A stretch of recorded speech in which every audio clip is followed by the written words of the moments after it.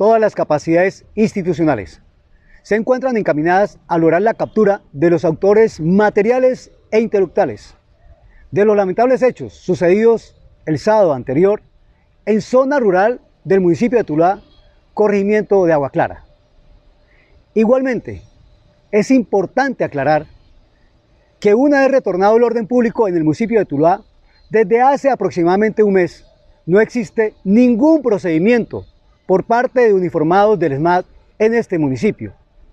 Y rechazamos contundentemente los señalamientos irresponsables que se están haciendo a través de redes sociales vinculando a nuestros uniformados con estos lamentables hechos. También ofrecemos, para acelerar esta importante investigación, una recompensa de hasta 10 millones de pesos para lograr la captura de los autores materiales e intelectuales. Un trabajo articulado con nuestra Fiscalía General de la Nación, donde en este momento, junto con Medicina Legal, se encuentra adelantando el proceso de identificación de la persona que pierde la vida y que desafortunadamente es objeto de este vil crimen.